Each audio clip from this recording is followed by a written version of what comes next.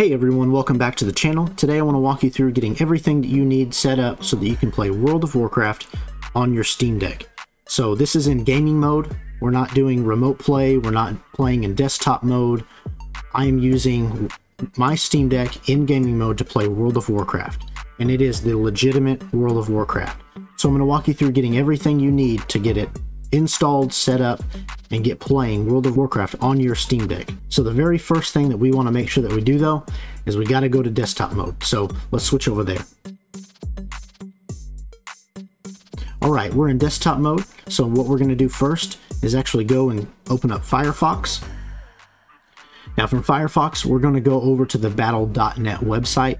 So you can go to your browser, we'll enter in battle.net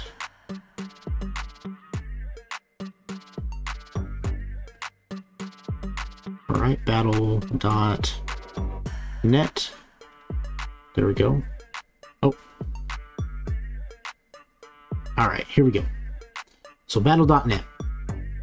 And then we'll click go.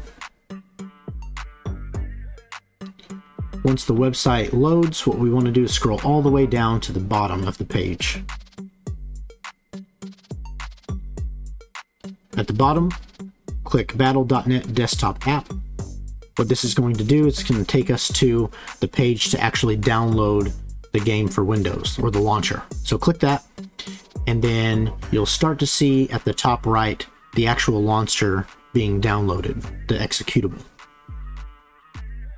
All right, so it's downloaded. You can see the, the executable is done. Uh, once that finishes, we just want to close this out. So close this. All right.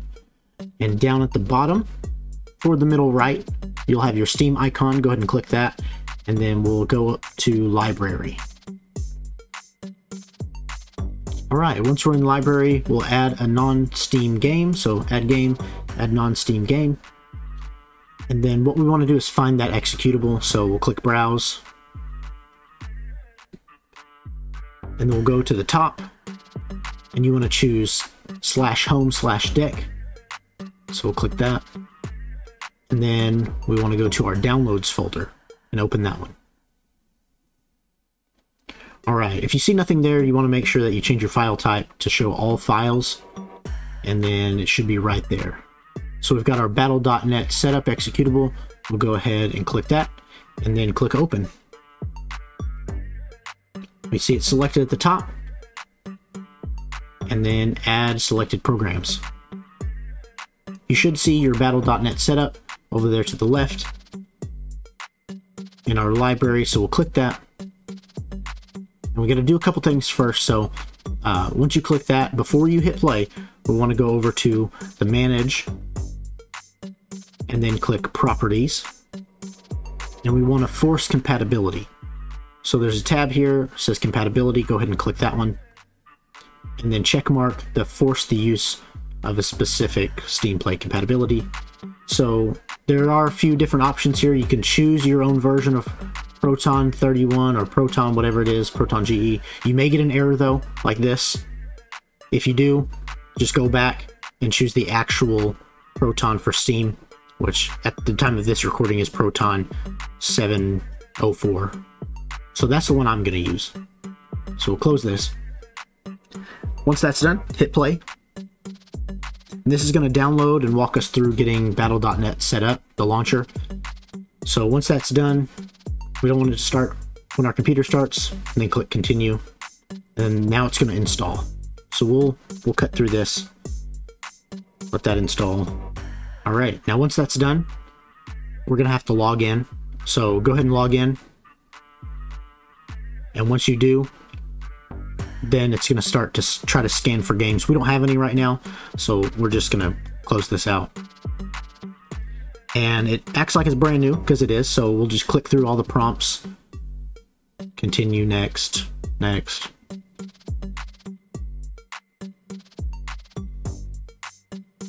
All right. Now, once that's done, let's go ahead and close this out. So just hit the X, you can minimize it, it's going to close no matter what because once we hit stop. So click stop and then confirm. All right. So we set everything up. Now what we need to do is remove the setup executable. So click that in properties.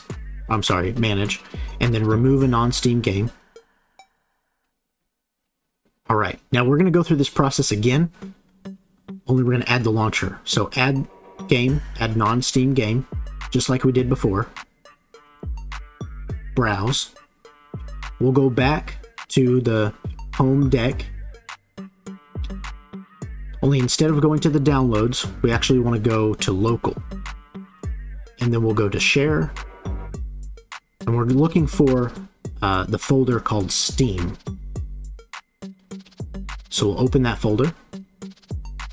And then we'll need to, you may need to scroll down a little bit to find it, but scroll down again and we're actually going to look for the folder now called Steam Apps. So Steam, then Steam Apps. All right, there's a file in here called compat data. So open that folder. And then what that's going to do is show us all of the files that we've downloaded there or installed. We see the top one is a long number. That means it's a Windows file. We can also see the date it was modified. It was today. So we'll open that one. And then the pfx folder. Open that one. Drive C. And then we'll go to Program Files 86. So if you're not finding any of the files, what you need to do is you need to make sure that you again go down and select file type to show all files. I could have done that at the beginning, but I'm doing it now. Uh, but what we want to do then is go up to the battle.net folder. And then we see our executable that is the launcher this time. So the first one was the setup. This is the actual launcher that we want to add to our Steam library. So we'll click our battle.net launcher executable and click open. And you know you did it right when it's at the top and it's check marked. We see that battle.net launcher executable. Click add selected programs, see it at the top. So add selected programs. All right, now we've got our launcher in our Steam library and we need to force the compatibility again. So click that. Go back over to the manage and then properties and then compatibility. Force the compatibility and I'm going to use the one that's provided by Steam. All right. So once we got that set up, we'll go ahead and close this and then we'll hit play. And what this is going to do is it's going to go back through the process. Um, it's going to be a lot quicker, so we'll just cut into the, login. Um, but first, it's going to pop up. We're going to log in. All right, so we're logged in. It's scanning for games. We don't have any yet, again, so we'll close this. Go through the prompts just like we did before. Continue, next, next, next, next.